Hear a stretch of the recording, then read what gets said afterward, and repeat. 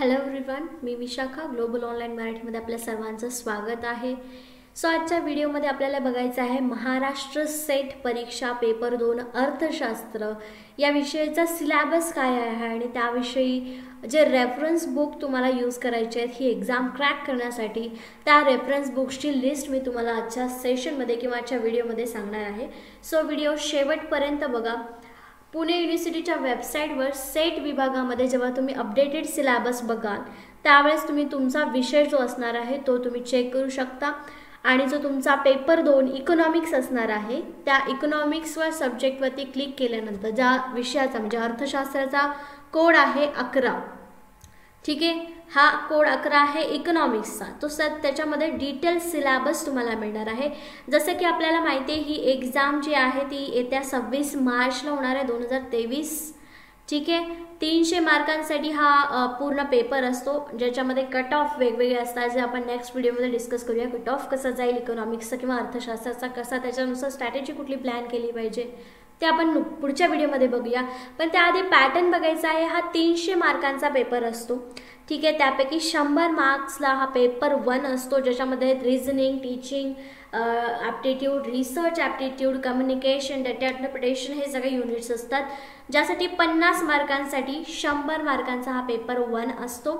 ठीक आहे? आणि त्याच्यानंतर दोनशे मार्कांसाठी आपला पेपर दोन असतो जो असतो आपल्या विषयाशी निगडीत आणि आपण आज डिस्कस करतोय पेपर टू अर्थशास्त्र. ठीक आहे टोटल असा तीनशे मार्कांचा paper objective M C Q सारखा असतो निगेटिव्ह मार्किंग नसते. ठीक आहे वेगवेगळे सेंटेन्स त्याचे असतात फॉर्म फिलअपची डेट आणखीन गेलेली नाही आहे तीस तारखेपर्यंत तुम्ही फॉर्म भरू शकता. किंवा त्यानंतर सात तारखेपर्यंत देखील तुम्ही लेट फीज भरून देखील हा फॉर्म भरू शकता. सो हा पेपर दोन अर्थशास्त्राचा सिलॅबस आपल्याला बघायचा आहे. पॅटर्न असाच असणार आहे. बाकीच्या विषयांसाठी सुद्धा. सो सिलॅबस पूर्ण डिटेल बघण्याआधी माझ्याकडे एक चांगली गोष्ट किंवा चांगला एक कोर्स आहे. जो तुम्हाला ही एक्झाम क्रॅक करण्यासाठी पेपर दोन अर्थशास्त्र हा विषय घेऊन तुम्ही एक्झाम क्वालिफाय होऊ शकता या फुल कोर्स थ्रू ज्याच्यामध्ये तुम्हाला मिळणार आहे या फुल कोर्समध्ये संपूर्ण अभ्यासक्रमावरील मॉक टेस्ट संपूर्ण अभ्यासक्रमावरील नोट्स जेवढे युनिट्स आहेत तेवढे सगळे युनिट्सचे नोट्स तुम्हाला मिळणार आहेत पी डी एफ स्वरूपामध्ये. रेकॉर्डेड लेक्चर्स मिळणार आहेत सगळ्या टॉपिक्सवरचे शिवाय लाईव्ह लेक्चर्स होणार आहेत इकॉनॉमिक्ससाठी शिवाय इकॉनॉमिक्स पेपर दोनच्या संपूर्ण कोर्ससोबत तुम्हाला पेपर वनचा संपूर्ण कोर्स फ्री ऑफ कॉस्ट मिळणार आहे. ठीक आहे या कोर्सची फीस आहे ten thousand rupees thirty percent discount सध्या आम्ही तुम्हाला प्रोव्हाइड करतो आहोत. कारण अजून रजिस्ट्रेशन स्टार्ट होत आहेत आणि आत्ताच आपण अभ्यासाला स्टार्ट केलं तर आपल्याला त्याचा फायदा होणार आहे. सो आम्ही डिस्काउंट आता प्रोव्हाइड करत आहोत आणि डिस्काउंट नंतर ही फीस होत आहे सेवन थाउजंड रुपी नवीन बॅच जे आहे ते आम्ही एक डिसेंबरपासून स्टार्ट करत आहोत. जो इकॉनॉमिक्स अर्थशास्त्र पेपर दोन अर्थशास्त्राचा असणार आहे. ठीक आहे. ज्याच्यामध्ये तुम्हाला ऑलरेडी लेक्चर्स मिळतील पी वाय क्यूज मिळतील previous year question paper mock test with solution मिळणार आहेत. या नंबरमध्ये तुम्ही कॉन्टॅक्ट करू शकता व्हॉट्सअप थ्रू कॉन्टॅक्ट करू शकता किंवा डायरेक्ट कॉलिंग करू शकता किंवा ग्लोबल ऑनलाईन नावाचं ॲप डाउनलोड करू शकता ज्या थ्रू तुम्ही सिलेक्ट कराल M S SET Maharashtra SET economics ठीक आहे? आणि त्यातून तुम्ही तुमचा स्टडी हा स्टार्ट करू शकता.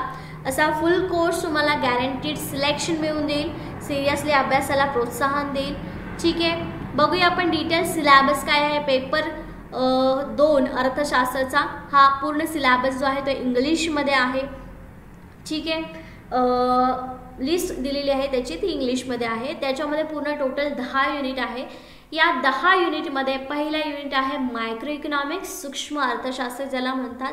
त्याच्यामध्ये सब टॉपिक्स जे आहेत ते आहेत theory of consumer behaviour theory of production and cost decision making under uncertainty attitude towards risk game theory non competitive games market structures competitive and non competitive equilibria efficiency properties factor pricing हे सगळे महत्त्वाचे topics आहेत. Micro इकॉनॉमिक्समधले सूक्ष्म अर्थशास्त्रामधले general इक्विब्रिरियम आणि हो आपण जो course provide करणार आहोत त्याच्यामध्ये तुम्हाला मराठीमध्ये देखील तुम्हाला हे पॉईंट्स किंवा हे युनिट्स तुमचे क्लिअर होणार आहे.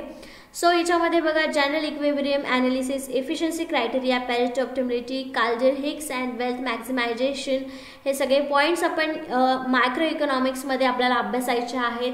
ठीक आहे? फर्स्ट युनिट नंतर सेकंड युनिट आहे मॅ मॅक्रो इकॉनॉमिक्स ठीक आहे? सुख समग्र अर्थशास्त्र स्थूल अर्थशास्त्र. त्यामध्ये पण national income determination of output and employment consumption function investment function multiplier and accelerator demand for money supply of money I S L M model approach हे सब पॉईंट्स आहेत. ठीक आहे? त्यानंतर तिसरा युनिट जो आहे सॉरी सेकंड युनिटमधले आणखीन काही पॉईंट्स आहेत जे महत्त्वाचे आहेत ज्याच्यावरती हमखास क्वेश्चन्स येत असतात. इन्फ्लेशन अँड फिलिप्स कर्व्स खूप इम्पॉर्टंट टॉपिक आहे. त्याच्यानंतर business cycles monetary and fiscal policy rational expectation hypothesis and its critics तिसरं युनिट जे असणार आहे ते आहे स्टॅटिस्टिक्स अँड इकॉनॉमेट्रिक्स हा पूर्ण सिलेबस जो आहे यातले सगळे पॉईंट्स तुम्हाला स्टडी करायचे आहेत जेणेकरून तुम्हाला यातला कुठलाही क्वेश्चन विचारला तरी देखील यातले क्वेश्चनचे आन्सर्स तुम्हाला देता आले पाहिजेत आणि तुम्ही ही एक्झाम क्रॅक करण्यासाठी हा पूर्ण सिलॅबस लक्षात नाही राहणार. पण यासाठी काय स्ट्रॅटेजी आपण वापरू शकतो हे आपण नेक्स्ट येणाऱ्या व्हिडिओमध्ये बघूया. आपण आता सध्या आपण डिटेल सिलॅबस बघतोय तो बघूया. थ्री युनिट थर्ड युनिट जो आहे तो statistics and econometrics probability theory descriptive statistics, sampling methods, sampling distribution, statistical inferences, hypothesis testing, linear regression model and their properties, identification problem, simultaneous equation models, discrete choice models, time series and analysis. ठीक आहे तिसरा unit झाल्यानंतर हे चौथे unit आहे mathematical economics ज्याला आपण गणितीय अर्थशास्त्र म्हणतो त्यामध्ये पण sets function continuity sequence series linear algebra हा मॅथमॅटिकल इकॉनॉमिक्स जो युनिट आहे तो पूर्णपणे प्रॅक्टिकलवरती डिपेंड असणार आहे. याच्यामध्ये सॉल्व क्वेश्चन तुम्हाला सॉल्व करायला येणार आहेत. ठीक आहे? त्याच्यावरती हा युनिट असणार आहे. त्याच्यानंतर क्वेश्चन्स कशावर विचारले जातील? तर हे त्याचे सब पॉईंट्स आहेत सब टॉपिक्स आहेत मॅथमॅटिक इकॉनॉमिक्स युनिटचे त्याच्यानंतर पाचवा जो युनिट आहे तो आहे इंटरनॅशनल इकॉनॉमिक्स आंतरराष्ट्रीय अर्थशास्त्र. त्यामध्ये पण international trade theories of international trade, international trade under imperfect competition, balance of payments, exchange rate, foreign exchange market and uh, gains from trades, terms of trade, trade multiplier, TRF, non-TRF, uh, barriers to the trade, GATT, WTO, IMF I M F and world bank ठीक आहे proper युनिटमध्ये काय काय अभ्यासायला पाहिजे हा detail syllabus आपल्याला युनिव्हर्सिटीने provide केलेला आहे याच्या बाहेरचं वेगळं काही येणार नाही जर तुम्ही एवढा सगळा सिलेबस कवर केला असेल तर. युनिट सिक्स असणार आहे पब्लिक इकॉनॉमिक्स सार्वजनिक अर्थशास्त्र.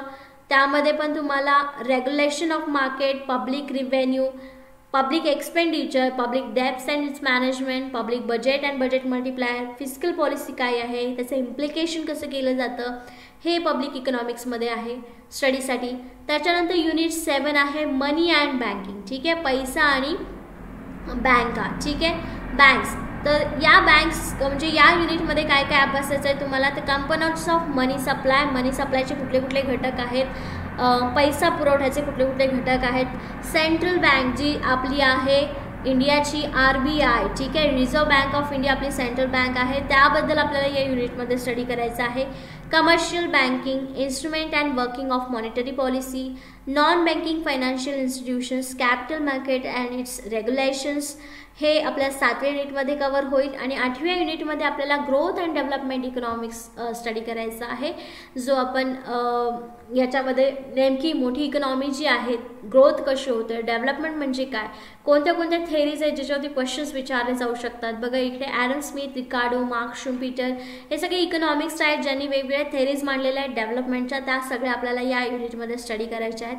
Models of economic growth Harrod Domar Solow Robinson Kaldor technical progress indicators of economic development हे सुद्धा महत्त्वाचे पॉईंट्स आहेत या युनिटमधले ठीक आहे, याच्यावरती देखील हमखास क्वेश्चन्स विचारले जातात.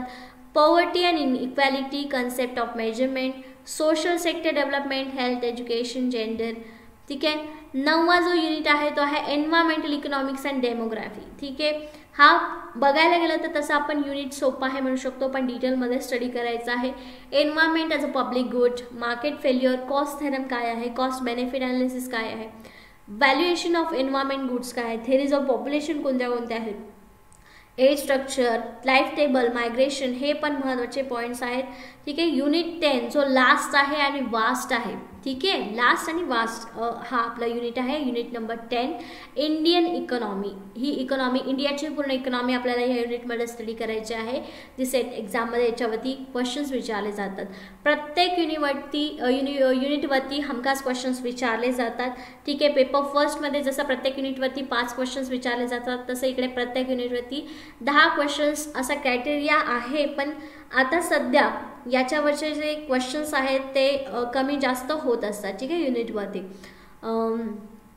सो हे सगळे पॉईंट्स आपल्याला कव्हर करायचे आहेत. Unit टेटमध्ये economic growth in India agriculture industry service हे वेगवेगळे पॅटर्न्स वेगवेगळे फील्ड्स आहेत. ते आपल्याला अभ्यासायचे आहे. Rural development urban development reforms in land, center-state financial relation finance commission of India poverty inequality, unemployment हे महत्त्वाचे घटक आहेत. हे सब टॉपिक्स आहेत आपल्या त्या युनिटमधले हे सगळे युनिट्स आपल्याला कवर करायचे आहेत. या येणाऱ्या सेट एक्झामसाठी पेपर दोन अर्थशास्त्रासाठी हा असा सिलॅबस आहे जो आपल्या युनिव्हर्सिटीच्या वेबसाईटवरती अवेलेबल आहे. ठीक आहे आता बुक्स कुठले कुठले रेफर करायचे आहेत तुमच्याकडे? तीन ते चार महिने आहेत.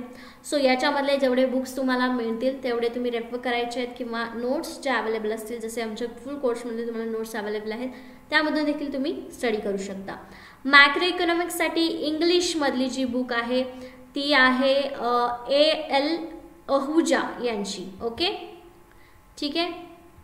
सो ती बुक तुम्ही रेफर करू शकता ज्यांना इंग्लिशमध्ये प्रिपरेशन करायची आहे. आणि ज्यांना मराठीमध्ये प्रिपरेशन करायचे आहे मॅक्रो इकॉनॉमिक्ससाठी ते आधुनिक उच्चतर आर्थिक सिद्धांत प्राध्यापक राम देशमुख विद्या प्रकाशन यांचं बुक यूज करू शकतात. ठीक आहे? त्याच्यानंतर मॅक्रो इकॉनॉमिक्स स्थूल अर्थशास्त्रासाठी इंग्लिशमधून जे स्टडी करणारे त्यांनी वाचायचं आहे आर फ्रेय ठीक आहे? आणि जे मराठीमध्ये प्रिपरेशन करत आहेत मॅक्रो इकॉनॉमिक्ससाठी त्यांनी प्राध्यापक डी जी पाटील प्रशांत प्रकाशन यांचा अभ्यास करायचा आहे. ठीक आहे? तिसरं युनिट आहे आपलं मॅथमॅटिकल इकॉनॉमिक्स ठीक आहे? आणि स्टॅटिस्टिक्स अँड इकॉनॉमेट्रिक्स ठीक आहे? मॅथमॅटिक्स आणि इकॉनॉमेट्रिक्ससाठी तुम्हाला twelfth eleven ट्वेल्थचे N C R T books आहेत. त्यामधून हे टॉपिक तुम्ही कवर केले तरी देखील तुमचे इथे चांगला अभ्यास होणार आहे. ठीक आहे? आणि मराठीमध्ये नाही पण इंग्लिशमध्येच याचं मटेरियल अवेलेबल असेल. So mathematical economics and statistical statistics and इकॉनॉमेट्रिक्ससाठी हे बुक्स त्याच्यानंतर एस पी गुप्ता आणि डी गुजराती हे तीन रायटर हे दोन रायटर आणि हे बुक्स एन सी टीचे बुक्स तुम्ही रीड करू शकता. किंवा E P G Pathshala U G C notes online available आहेत ते देखील तुम्ही चेक करू शकता डायरेक्ट नोट्स ठीक आहे? त्याच्यानंतर पाचवं जे युनिट आहे आपलं इंटरनॅशनल इकॉनॉमिक्स डी सॅलेटरे यांचं इंग्लिश बुक असेल. ते तुम्ही इंग्लिश ज्यांना इंग्लिशमधून स्टडी करायचं आहे त्यांनी हे बुक रेफर करायचं आहे. आणि ज्यांना मराठीमधून आंतरराष्ट्रीय अर्थशास्त्र अभ्यासायचं आहे त्यांनी कुलकर्णी व ढमडेरे किंवा प्राध्यापक भोसले व प्राध्यापक काटे सर यांचं आंतरराष्ट्रीय अर्थशास्त्र अभ्यासायचं आहे. ठीक आहे? सहावं जे युनिट आहे आपलं पब्लिक फायनान्स सार्वजनिक अर्थशास्त्र. तर एच एल भाटिया हे रायटर आहेत ऑथर आहेत पब्लिक फायनान्स बुकचे ते इंग्लिशमधून याच्यातून प्रिपरेशन करू शकता. आणि ज्यांना मराठीमधून प्रिपरेशन करायचं आहे त्यांनी प्राध्यापक डॉक्टर जे एफ पाटील सार्वजनिक अर्थशास्त्र याच्यामधून अभ्यास करायचा. ठीक आहे सातवे युनिट आहे money and banking S B Gupta author आहेत ज्यांना इंग्लिशमध्ये प्रिपरेशन करायचं आहे त्यांनी एस बी गुप्ता यांचं बुक रेफर करायचं आहे ज्यांना मराठीतून करायचं आहे त्यांनी भारतीय अर्थशास्त्र पुस्तकातील पैसा आणि बँक हा घटक वाचणे आणि बँक वित्तीय बाजारपेठा डॉ प्राध्यापक doctor B H Damaji sir यांच्या बुकमधून तुम्हाला तो युनिट कव्हर करता येईल. ठीक आहे त्यानंतर आठवा आपला युनिट आहे एन्व्हायरमेंटल इकॉनॉमिक्स किंवा डेमोग्राफी जो तुम्हाला कॉलसॅट आणि जिंगल ठीक आहे या दोन ऑथरच्या बुक्समधून इंग्लिशमधून प्रिपरेशन करता येणार आहे. आणि ज्यांना मराठीमधून प्रिपरेशन करायचं आहे त्यांनी बी ए किंवा एम ए बुक्समधून हा टॉपिक कवर केला तरी चालणार आहे. ठीक आहे? त्यानंतर नववा युनिट आहे ग्रोथ अँड डेव्हलपमेंट वृद्धी आणि विकास ज्याला मराठीमध्ये म्हणतो नववा. ठीक आहे? सो ज्यांना इंग्लिशमधून प्रिपरेशन करायचं आहे त्यांनी ए डी थिरवाल अँड लेखी यांच्या बुकमधून हा टॉपिक युनिट कवर करायचा आहे. आणि मराठीमध्ये प्राध्यापक doctor J F Patil Phadke प्रकर्षण यांच्यामधून हा युनिट तुम्ही कव्हर करू शकणार आहात. त्यानंतर दहावं आणि शेवटचं युनिट आहे इंडियन इकॉनॉमी भारतीय अर्थव्यवस्था ज्यांना इंग्लिशमधून कव्हर करायचं आहे त्यांनी मिश्रा अँड पुरीमधून कव्हर करू शकतात. किंवा भारतीय अर्थव्यवस्था देसले किंवा रंजन कोळंबे यांच्या बुकमधून हे कव्हर करू शकता ठीक आहे अशी ही बुक लिस्ट आहे ज्या बुक लिस्ट थ्रू तुम्ही तुमचा पूर्ण युनिट्स कव्हर करू शकता अर्थशास्त्र विषयाचे. ओके सो थँक्यू आणि प्रिपरेशनला स्टार्ट करा.